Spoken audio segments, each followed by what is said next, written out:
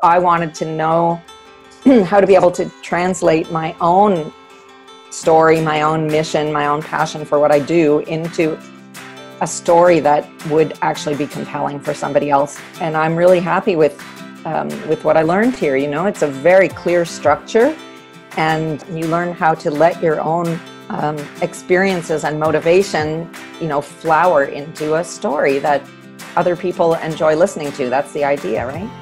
But it also really forces you to connect in a different way than I'd been doing with my audience, with my ideal client.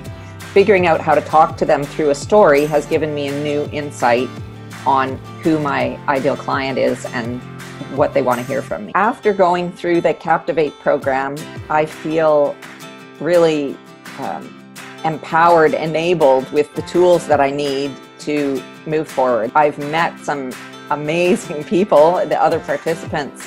You know, they've helped me a lot uh, working one on one to to bounce ideas off and craft my story and have practice telling it. So I know what I need to do now to move forward. We, we have to keep doing more of that and absolutely re- recommend taking the leap. I mean, these are like four amazing people.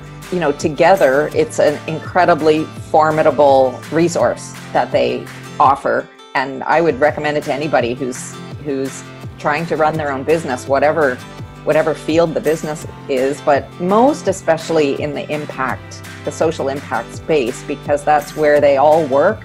And it's so, so important for us in this space to um, not feel salesy, for lack of a better word. But, you know, we really want to convey the, the deepest purpose of what we're doing in our sales language and you know anybody can learn how to sell widgets or whatever but you know we're we're trying to sell something that means a lot to us in the sense of the, the change that we're trying to make, you know, trying to sell change.